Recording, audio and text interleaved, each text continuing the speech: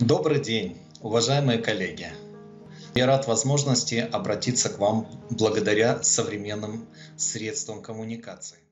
То, что смысл электронной эпохи будет непонятен без обращения к такому периоду жизни человечества, как бесписьменное общество. В библиотечной истории о бесписьменном обществе не очень принято говорить. Почему? Потому что библиотеки возникли после изобретения письменности, и э, в своей истории бесписьменного общества не знает. Вместе с тем человечество знает этот период. А, речевая коммуникация возникла примерно 100 тысяч лет тому назад, а письменность около 8 тысяч лет тому назад.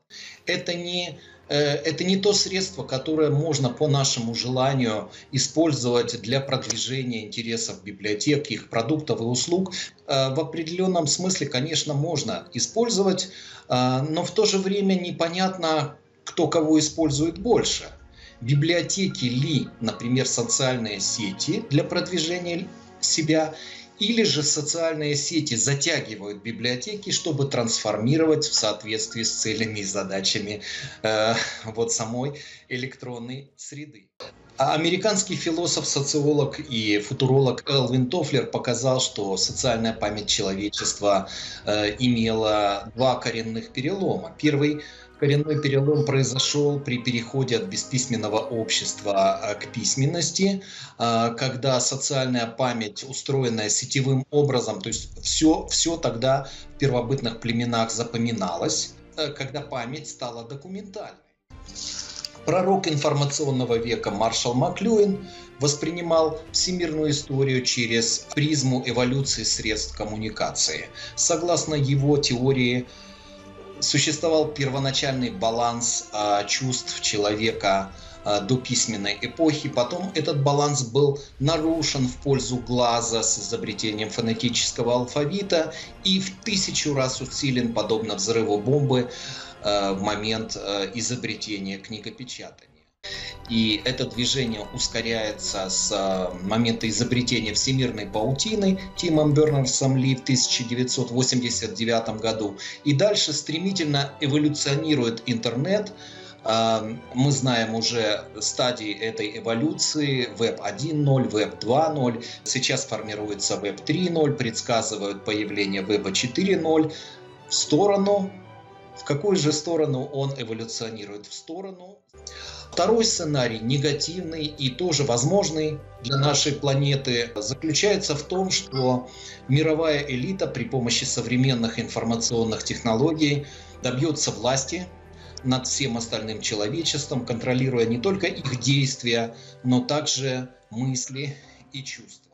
В Европе и США тоже в 1990-е годы начинают появляться исследования, которые трактуют всемирную паутину как прообраз будущего коллективного интеллекта, философски и научно предсказанного в виде концепции ноосферы Леруа, Тияром де Шарденом и Вернадским.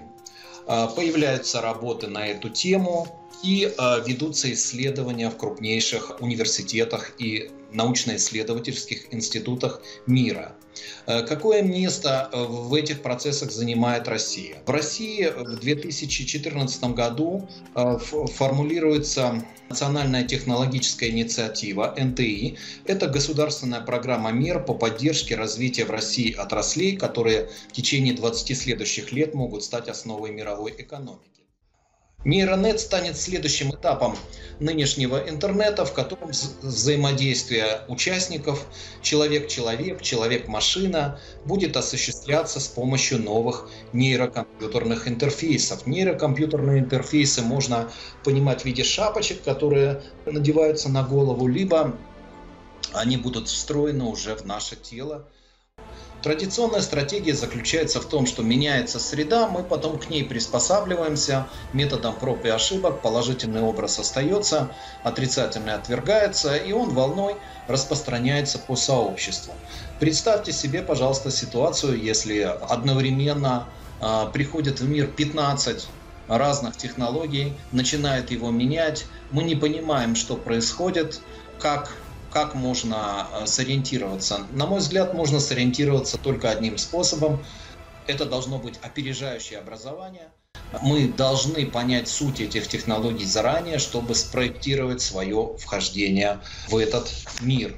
В заключение я хотел бы поделиться практическими рекомендациями для методистов и библиотекарей практиков ренессанса вот в том старом смысле уже не будет. Но библиотеки могут занять свое достойное место а, в новой формирующейся реальности раннего этапа становления ноосферы коллективного интеллекта человечества. Большое спасибо вам за внимание.